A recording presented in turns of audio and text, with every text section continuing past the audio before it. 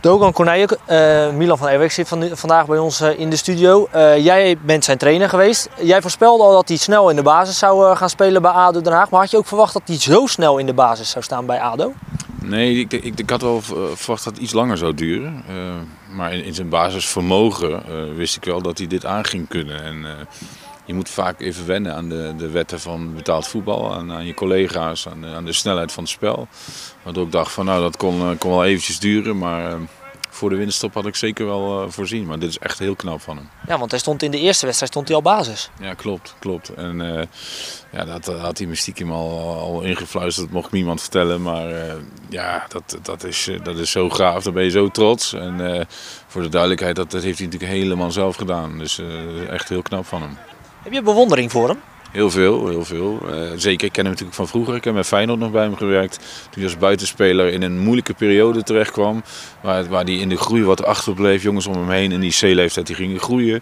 Ja, hij kwam ook mentaal wat meer in de knoop. Met, ja, het, het, lukte even allemaal niet. Nou, vervolgens deed hij een stap terug om er twee vooruit te zetten. En dat is natuurlijk uh, onwijs knap. Want, want nou, 90, wat zeg ik, 95% van de mensen die een stap terug doen, die komen nooit meer vooruit, maar die blijven daar hangen. Dus ik heb ontzettend veel bewondering voor En uh, ja, weet je, ga zo door, zou ik tegen hem zeggen.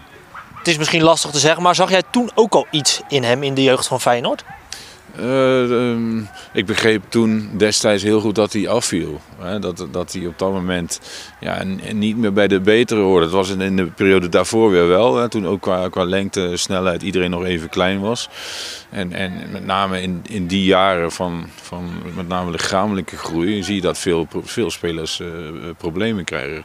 Dus ik begreep dat hij toen afviel. Uh, maar je weet dan niet wat zo'n jongen daarna gaat doen en hoe hij de dingen oppakt. En, dat heeft hij, heeft wel geweldig gedaan. Dan moet ik ook zeggen, maar Sluis is daarin ook een juiste keuze geweest. Hè. Ik denk dat dit een perfecte club is voor spelers die net buiten het BVO-niveau vallen. Om hier je, je, door te ontwikkelen. En dat, dat, dat was een goede keuze van hem. Ja. Waar ligt zijn plafond volgens jou?